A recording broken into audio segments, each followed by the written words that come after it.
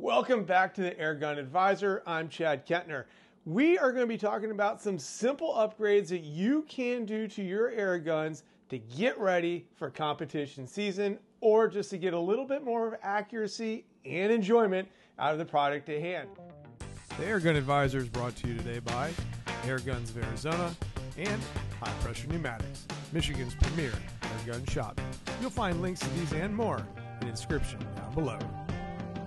Today we're going to be looking at the BRK Ghost. Now most of these upgrades are not model specific. So a lot of these can be done to any air gun, not just the BRK Ghost. We will have a couple of model specific upgrades at the end that are going to be just for the Ghost. And I think you're going to really, really like and appreciate exactly what they are. So where do we start though? So the very first thing that a lot of people want to do is they want to get more shots. When they're at competition, they need more shots because they don't want to waste time filling air. So how do we do that? I got your solution. How do we do that? It's with a new bottle. This is a 700cc bottle. You can pick these up at Air Guns of Arizona or my high pressure pneumatics up in Michigan. Uh, easy to install. Now, I did, and you will, regardless of your uh, air gun, you will need to pick up a valve for that. But the valve, they just go right on here. There's an O-ring on there. I don't know if you can see that. They just slip that in there, and we're going to just slide that. Now, it's important because if you're going to a competition and you're going to fly, you do have to be able to take the valve out of the air cylinder to fly with it. Now, a lot of people don't realize that and they get to the airport, they don't have the tools to do so. Uh, but you do definitely need to be able to take that out. I was heading out to Utah, and that was the first thing that the TSA checked was empty out your bottle and make sure the valve is already out. So you do that at home, but make sure you do that nice and easy. Now all we have to do is go ahead and swap out the old bottle. I'm going to do that anyway go ahead and you'll hear a little puff of air. Let's see. There it is, the air released. And the nice thing about this upgrade is that you have a extra air cylinder now. Let's say you want to go take this out on a trip, uh, maybe out to the country, and you want to bring an extra air cylinder with you. This one has the valve in it, so all you have to do is put it in your backpack, make sure it's full before you go, and swap it out. So we're going to go ahead and put the 700cc air cylinder on here. And this is going to significantly up my shot count.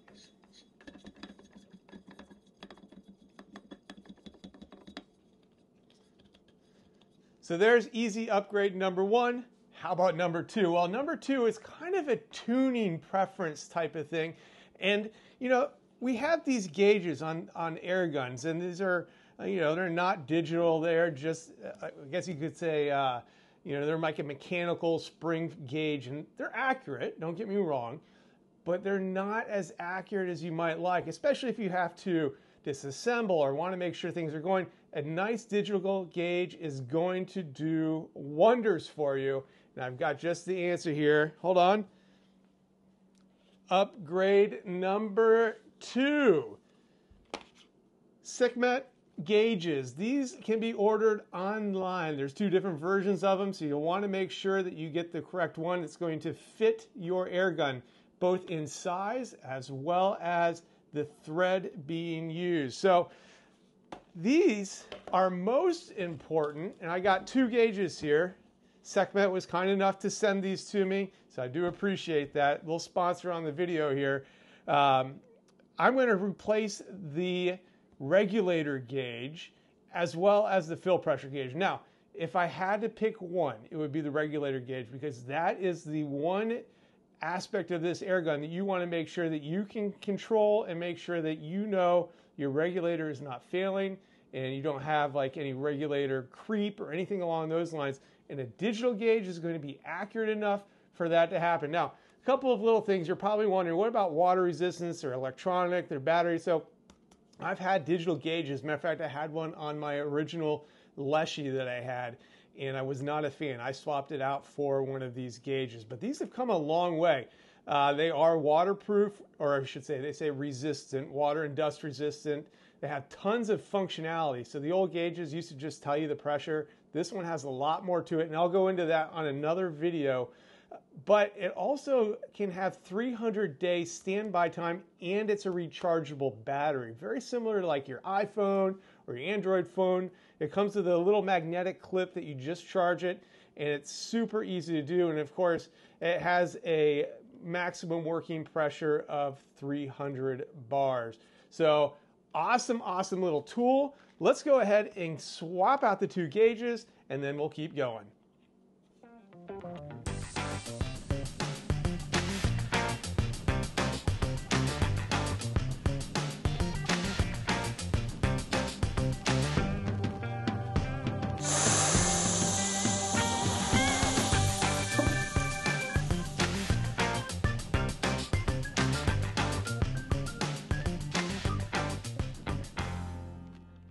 All right, so we got our second upgrade. I'm telling you what, these gauges are going to come in really, really handy when I go to adjust the regulator and get this thing all tuned for competition season.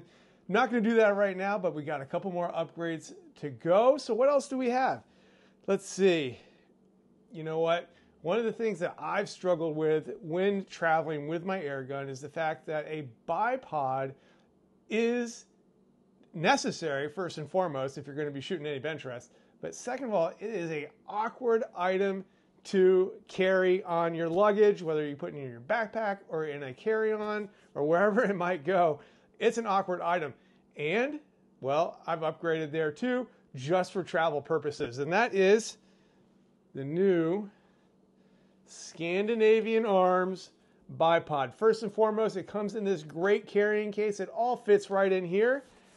Go ahead and unzip this so you can there it is. So not only is this thing conveniently in a carry case, but this thing also fits both on a pick rail as well as an Arca rail by, just by flipping this over. So you get a lot of different options here. Really unique design. You can see that. That's how we're going to get it on there and twist it on and adjust it. The legs, and it comes with extensions on the legs. I've never used the extensions. I haven't need them. I like to keep the low profile, but look at this. These legs install real easily. Nice and simple. There's one. Here's the other. Goes right in that hole. Perfect fit.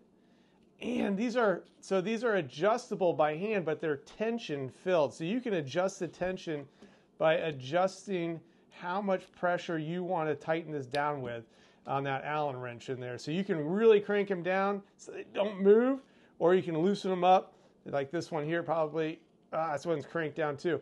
But you can loosen them up so they can really, really flex. Um, so you have your choice there depending upon what your needs are, but it is a really neat system. And if you get the tension just right, you can just leave it, there you go, and just enough force so you can leave it on your air gun and adjust it simply when it's on there. So let's go ahead and put this new bipod on here. A couple different feed options. Beautiful. Got some different options. Adjust the legs. Notice it's not really sliding anywhere, even with some pressure on there.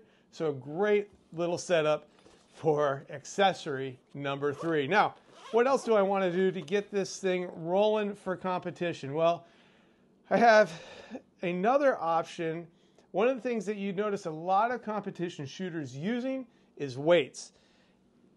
And I got this adjustable weight system by Raw. You can order these online through Raw's website, and you can take the weights off, whoop, just like that. You take them off, adjust the amount of weight that you want. This is a little bit of a dampener to help reduce any vibration. And the one thing that I really like about it is it has the wings on the side. So if you take this and you, let's say your air gun wants to tilt over a little bit. Well, that extra weight, if you look, I'm going to tilt it, and it just brings it right back to center. Whether go whichever direction you want to go, it brings it right back to center. And that is going to help you with stability down there at the range whenever you are shooting bench rest or any discipline for that matter. Having a little weight down there is a good thing. Now, I'm going to adjust this. Uh oh, I'm going to have to put my bipod up. I might have to do some adjusting here after the video is all said and done, uh, just to get everything just right. I got a little pick rail down here. Yeah, let's go ahead and bring those legs up for now. I'll adjust this a little bit further once I get done. There we go. So now we got whole bunch of weight to help with stability. We've got these new bipods. Uh, oh, that looks nice. There we go. So once it's installed, it fits really, really well up there. I, I, might not even have to adjust anything. I like that. So we've got the weight, we've got the new air cylinder, we've got the new bipod, we've got the new gauges for tuning. That's what, one, two, three, four upgrades? Man, I got some more. You know what it is? BRK, Brocock International has come out with a couple other upgrades that are specific to this air gun. So I'm going to go ahead and clear off this stuff and then I'll come right back with those upgrades. Well, those first upgrades are pretty much any gun, anywhere, you can add those upgrades to yourself. Pretty easy to do. Now, these last two uh, upgrades are specific to the BRK Ghost, and I well, as well as you can get the similar upgrade for the Alpha Wolf as well. But this one's for the Ghost. And the first one I'm going to talk about is a barrel tensioner. So what this does is this replaces the original shroud that's on there. So you're going to notice my profile is going to go down a little bit. And that what that does is puts tension on the barrel. So a barrel is going to move like this in waves. And this is meant to help kind of stretch and keep the tension on the barrel so it has less opportunity to do that up and down movement out here at the end of the barrel. So we're going to add the barrel tensioner on here as well as this block. Now this block, you're probably noticing the wires on top. This block is also used on the Alpha Wolf or the Delta Wolf. I ordered one for that just because I have one. And so if I wanted to swap this block over to my Alpha Wolf, I already had the electronics built in. But you can order the Alpha Wolf version and still use it on your Ghost even though those electronics are in there. So kind of a nice cost saving measure. If you're ordering order this block to kind of settle things down, and this is a barrel clamp down here on the bottom. So you're going to notice it's going to replace this and again clamp down onto that barrel to again help to reduce any kind of waves or shock waves that are going to go throughout the system and settle that barrel down because it's producing quite a bit of power down there and the barrel is a little bit longer. So two really simple upgrades. I'm going to go ahead and swap this stuff out and see exactly what kind of impact this has. So let's go ahead and do that. I'll show you how to do that. We won't get to shooting today, but we'll get it all swapped out for you so you can kind of get a quick idea of what it is, how easy these upgrades are. And of course, these upgrades, anyone that carries uh, BRK, Daystate products can get these for you, as well as Air Guns of Arizona and my high pressure pneumatics up in Michigan. My two go to guys for anything BRK and Daystate.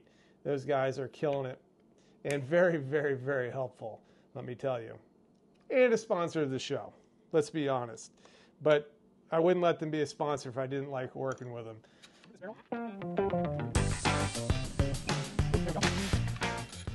Drops right out.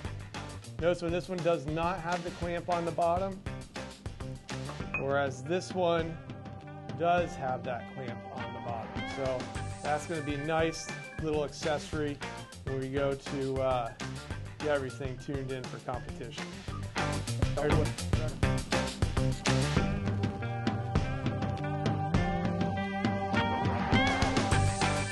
Well, air gunners, there we have it. BRK Ghost. I did go ahead and add a zero dB moderator on as well, which you guys can do to most of your air guns back home. Now, the one thing I might change on this build at some point, I might switch out either to a 500cc tank or swap out to the larger, longer barrel that BRK has just come out with. Couldn't get my hands on it just yet, but that's another option further down the line. Can't wait to get this back down the range, get it all tuned in. We'll be checking out these gauges and how exactly they work and how they can help you to fine tune your air gun. Want to shout out to all my sponsors. Thank you for your support. Hit the subscribe button. And until next time, make sure that trigger pull stays smooth and those pellets fly straight. And we'll see you right here on the Airgun Advisor.